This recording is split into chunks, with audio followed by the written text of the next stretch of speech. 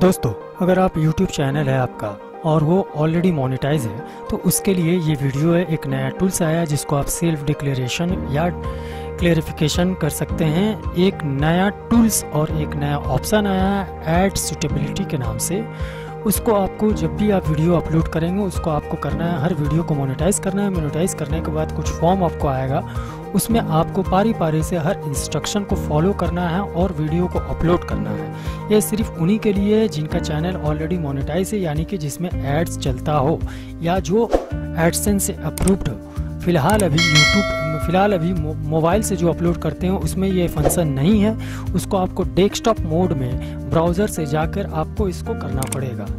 तो ये वीडियो आपके लिए इम्पोर्टेंट हो सकता है और इस वीडियो को हम लोग प्रैक्टिकल देखते हैं कि कैसे आप अपना यूट्यूब चैनल को नया वीडियो को अपलोड करिएगा। चलिए आगे बढ़ते हैं।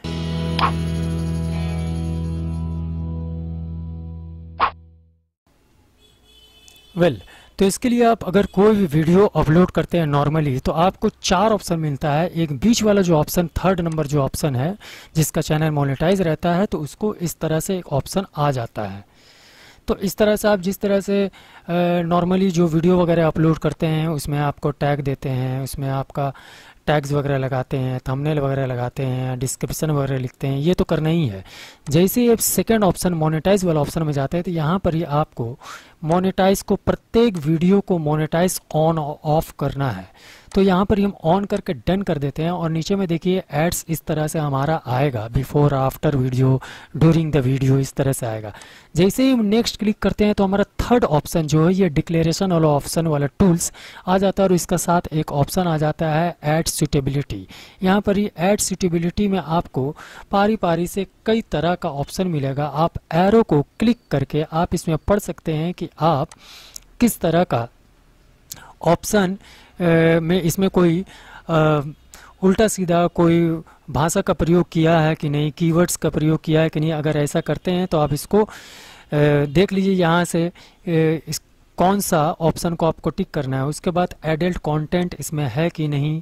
उसके बाद वायलेंस का कोई ऑप्शंस जैसे ब्लड्स वगैरह या कोई बच्चा का फ़ोटो किसी तरह का। यहाँ पर पारी पारी से आपको इंग्लिश में सब लिखा हुआ है। अगर आपको परेशानी है तो इंग्लिश को यहाँ पे कॉपी करके आप गूगल ट्रांसलेटर में जाके अपना हिसाब से उसको अपनी भाषा में देख सकते हैं। पारी पारी से छः सात ऑप्शन है।